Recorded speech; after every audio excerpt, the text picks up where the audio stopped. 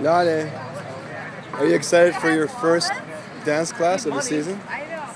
How about a little dance to show me how happy you are?